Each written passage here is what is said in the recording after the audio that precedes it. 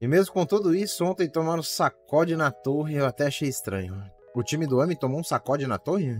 Eita lasqueira. E ó, agora ainda, o, o, PVP agora, ele tá legal, viu, cara? Eu não sei o que aconteceu, mas eu tenho, eu tenho uma leve percepção que a, a atividade do, dos BRs está um pouquinho mais baixa do que da época que a gente era mais, né? Tinha mais gente. Só que parece que as outras regiões pegou fogo, né? Pô, a gente tinha guerra no NA, mano. A Ásia, quanto tempo não ficou parada a Ásia? Imena, chat. Quanto tempo não teve nada na porra do Imena? Tipo assim, a Ásia parada é meio meu se eu falar, porque os G sempre lutaram na Ásia, tá ligado? Mas teve um momento ali que os Gs perderam muita força, e aí a Hoff dominou praticamente completamente. Que aí foi quando o Gs começou a ir pra lá e pra cá, né?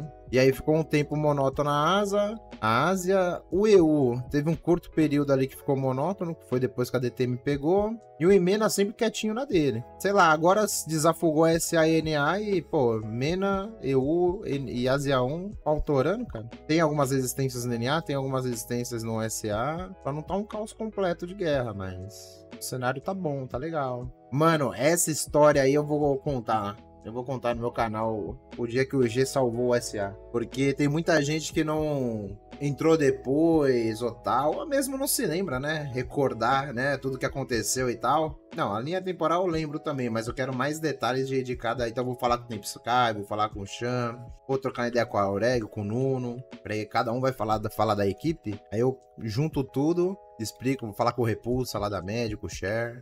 Mas ser clubista, cara. Que eu vou perguntar para quem era o dono da guild, pô. Porra, fazer o um negócio direito. Tem coisa que nem eu sei, pô. Deixa cada um contar sua, sua versão. Porque no vídeo eu não vou citar o nome de ninguém. No vídeo eu vou falar só fatos e eu vou falar só as guilds. Não vou falar mais nada. Aquilo ali foi combinado, né? Aquilo ali, gente, aquilo ali, louco, eu jogava lá, né? Eu jogava. Aquilo ali foi combinado, deixa de não aparecer em nada onde o Gami tivesse. Sumir do mapa. Essa daí foi uma história.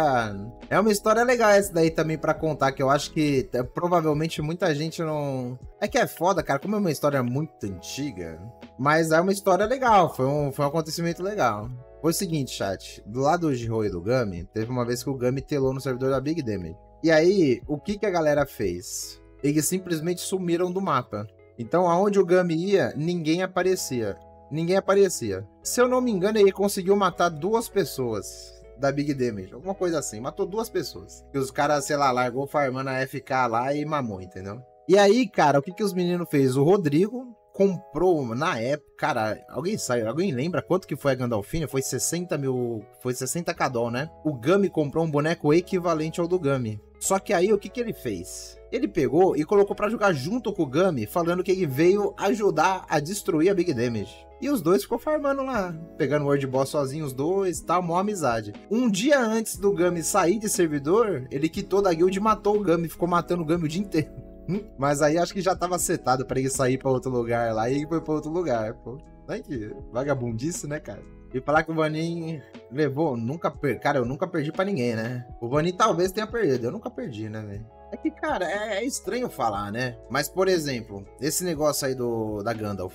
Foi uma loucura, mano. O cara comprar um boneco de 60k dólares só pra brincar com o coreano lá, foi loucura, foi loucura. Agora, Cara, olha as loucuras aí que o Ami tá fazendo. Olha a loucura que o Ted fez. Olha a loucura que o Long fez lá. Olha o tamanho do. Mano, olha o Blank, mano. Esse, ele montou esse boneco da época da ETM um ano atrás e ninguém conseguiu segurar esse boneco até hoje, tá ligado? Lá com o barril jogando. Então, tipo assim, imagina tu pegar e contar historinha por historinha de bonequinho ali, mano. Tem. Nossa, hoje é muita maluquice, mano. É muita loucura, mano. Não, o esquema era atrapalhar mesmo, era não deixar o cara em paz. Olha que, né, há muito tempo ali o Vaninho jogou né, um time muito pequeno. O melhor, o melhor momento mesmo, assim, da, da saga do Vaninho no SA foi quando trouxe o. Foi quando a, DTM resolveu invadir o SA2 e ele já tava aqui né, jogando. E aí juntou tudo. Ali foi o único momento aonde o SA,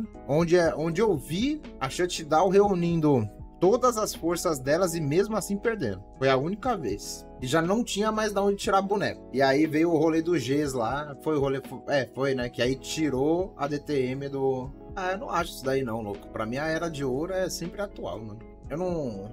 Cara, eu sou anti-nostalgia, tá ligado? Assim, eu entendo, né, que muitas pessoas pararam. De... Hoje o número é reduzido. Mas, por exemplo, que nem a gente tá citando as partes boas, né? Puta, era um trash talk desgraçado antes, né, velho? Então, em relação. Eu acho que hoje o jogo tá melhor, na minha opinião. Tá muito melhor, sinceramente.